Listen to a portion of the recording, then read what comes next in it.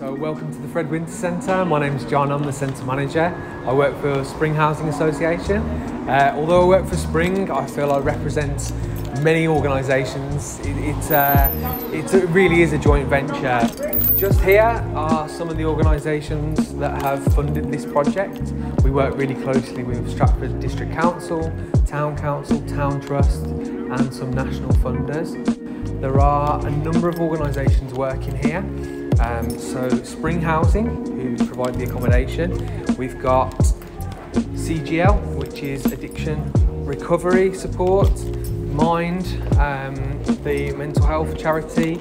Orbit Housing as a key partner. Stratford Food Bank, huge part of the, the centre. We're also supported by um, a number of national charities such as Citizens Advice or the Samaritans.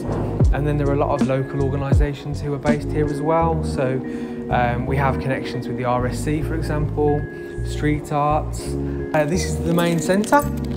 It is all open plan. Uh, we try and make it a relaxing, welcome environment, a safe space for anybody to access. So we have a mix of professionals working and having meetings. We have people accessing the community cafe and people accessing the services. Um, and also just, I mean, it's really important that this is a safe space where people can just be, you know, they can just be comfortable. They don't have to be here for any particular reason. We've been open for 18 months since the front doors opened.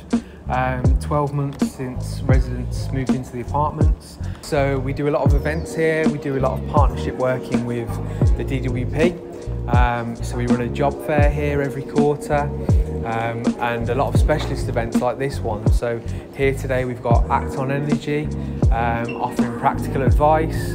Uh, we've got citizens advice with them and the family information service. So it's a drop-in essentially. Anybody who works with the organisations here uh, can come along, find out a bit more um, and be signposted to the right direction. Toilet facilities. So as well as just toilets, we've got showers and laundry facilities that anyone can access.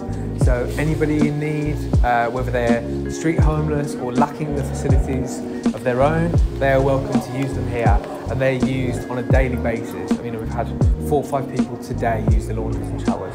The largest office we have is the South Warwickshire and Worcestershire Mind Office, which is back here, so it's hidden, it just you know keeps going. They have, I don't know, 30 plus staff working from here, um, and they run a number of well-being sessions across the week from, from this, this office. The garden wasn't originally part of the old department store. So we recognise the importance of outdoor space um, for the well-being of residents and staff. We've put up a wall to create our own garden. Um, as you can see, it's really not much to look at at the moment, but it's going to be started and completed within the next four weeks.